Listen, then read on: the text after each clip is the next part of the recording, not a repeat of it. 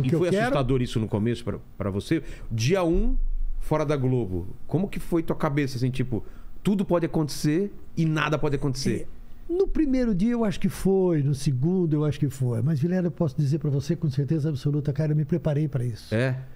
Me preparei porque, é, primeiro, eu, eu nunca fui contaminado pelo glamour da televisão.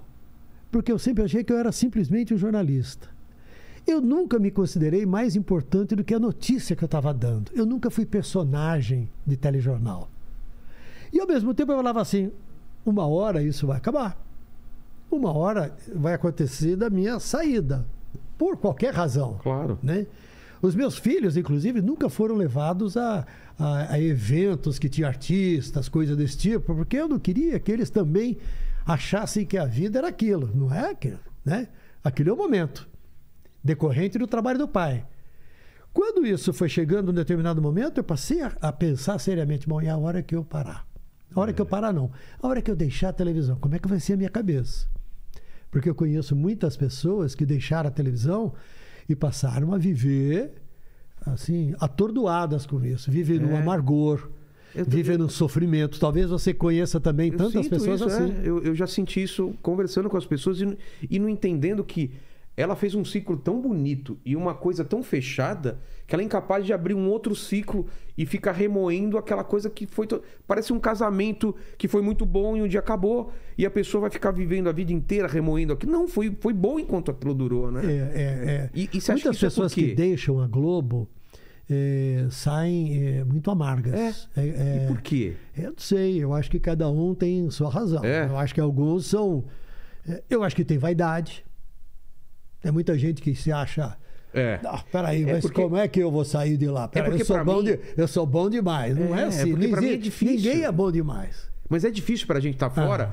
Pra você que tá dentro, talvez seja mais fácil, apesar de você não ter sido mordido por esse bichinho, da pessoa se achar realmente mais importante e não entender que é o, o espaço que ela tá ocupando aquilo que vai ser ocupado por outra pessoa outro dia. Claro. É difícil, né? A pessoa É. fala, não, putz, agora tem outra pessoa Mas outra tá coisa, brilhando. cara, a vida é assim. É. A vida é O- assim. Os nossos filhos estão mostrando isso pra gente. Quando, quando eu vejo o meu filho, É. Cara, ele vai me substituir, ele já tá me substituindo. É isso. Ele é mais inteligente, mais esperto, mais, Mais ágil, rápido. mais rápido, mais preparado pro no... e ele tá te mostrando que você tá o, o seu trabalho é não ficar muito longe dessa geração. E eu acho que é isso, né? E nos últimos anos, quem, quem ficou um pouquinho alerta ou esperto percebeu com clareza que mudou, mudou E tudo. mudou muito, né? Mudou a tecnologia, mudou a comunicação, mudou o jornalismo, mudou o jeito de fazer televisão, mudou o jeito de fazer telejornal, mudou o público, mudou a forma de você vender patrocínio, mudou o modelo de negócio. E aí eu ficava olhando tudo aquilo, eu falava assim, cara, numa hora eu vou ter que parar deste negócio, vou fazer outras coisas, né?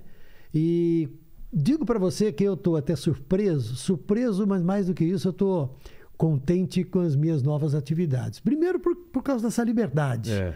Eu escolho o que eu vou fazer. Eu fui, eu consegui comprar ingresso para o Coldplay. E né? aí? Aí, quando eu comprei ingresso para o Coldplay, era outubro. Eu nem perguntei que dia era. Por quê? Porque eu posso a qualquer dia. ah, é porque antes você tinha. Antes eu uma- tinha assim, hoje, 7 de setembro, Esquece. eu teria que trabalhar, É. né? Seria meu plantão. Fim de semana tem plantão. E, se, E final de aí, ano? Como é que você vai? Como é que você vai comprar um ingresso para daqui a três meses, quatro meses, se você não sabe como é que vai ser o plantão? Explode uma guerra, aí acontece qualquer Então, coisa. E aí, como é que você faz? Perdeu o Playboy, Exato. né? Isso vai criando na gente, com o tempo, uma sensação de limitação. Chega uma hora que você fala assim: peraí,